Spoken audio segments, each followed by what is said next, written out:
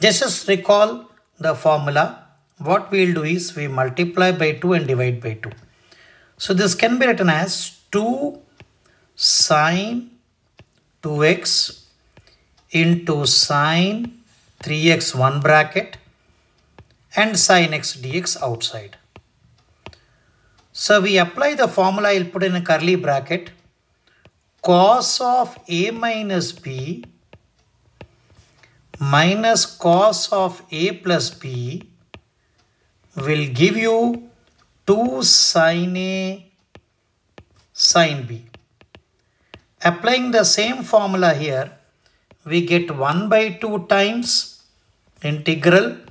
This can be written as cos of x minus cos of 5x into sin x dx.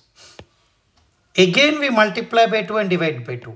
1 by 4 integral sin x cos x into 2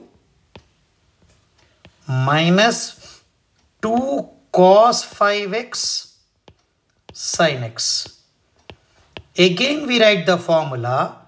We get 1 by 4 sin 2x minus 2 sin a cos b or 2 cos a sin b can be written as sin a plus b sin 6x minus sin 4x.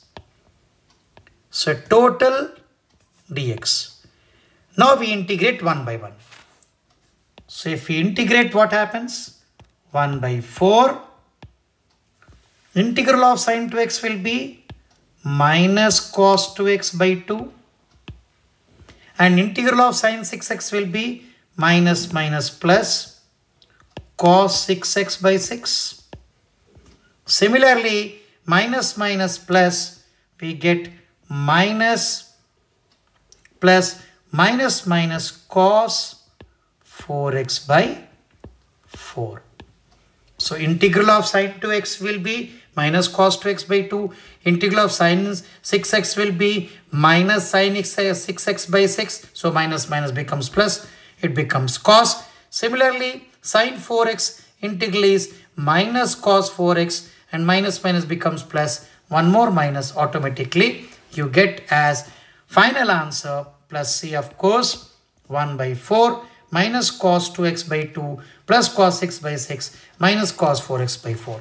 So again I repeat what is another formula what we used here is 2 cos a sin b is nothing but sine of a plus b minus sine of a minus b. That is the formula used in the next case. So to get sine 6x minus sine